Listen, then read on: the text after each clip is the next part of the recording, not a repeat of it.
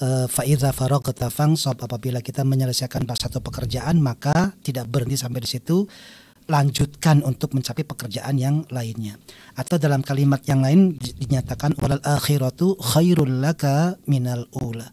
Bahwa akhir itu harus lebih baik dibanding dengan awalnya. Artinya awalnya kita punya keinginan punya harapan punya cita-cita dan keinginan maka ketika kita memproses untuk bisa mencapai apa yang kita harapkan dan kita ingin inginkan ini tentunya akan begitu banyak hambatan, rintangan dan tantangan. Jangan sampai kemudian semua hambatan, rintangan dan tantangan ini justru menjadikan kita tidak mau lagi melanjutkan. Uh, dan Allah sudah menjamin kalau kita mau terus pahalanya besar gitu. Hmm.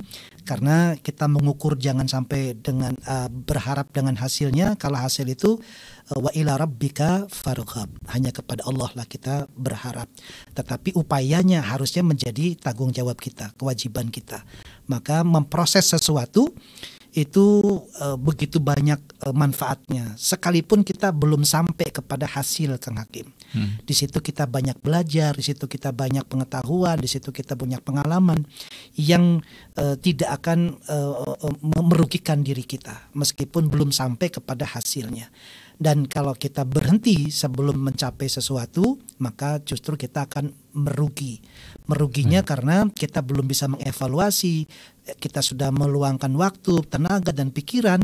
Kalau waktu, tenaga dan pikiran ini tidak kita manfaatkan sebaik-baiknya, tetapi kemudian kita sia-siakan, maka ya al mubaziru karena ikhwanu syayatin. Orang-orang yang membazirkan waktu tenaga dan pikiran itu bagian dari pekerjaan setan karena setan membisikkan keraguan-raguan hmm. gitu.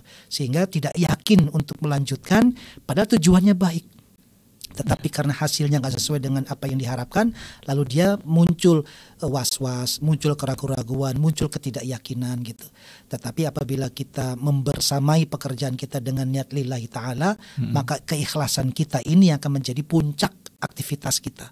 Orang-orang ikhlas tidak bisa diganggu Kang Hakim, tidak hmm. punya keraguan sedikit pun tidak dia dan bahkan godaan setan dia tidak akan mempan. Karena ketika hasilnya tidak sesuai dengan dia, yang dia harapkan, dia katakan ya aku ikhlas. Hmm. Hasilnya segini nggak masalah. Besok aku kerjakan hmm. lagi. Iya dan semoga pekerjaanku lebih baik dibanding dengan kemarin. Dia mulai lagi. Orang-orang ikhlas selalu begitu.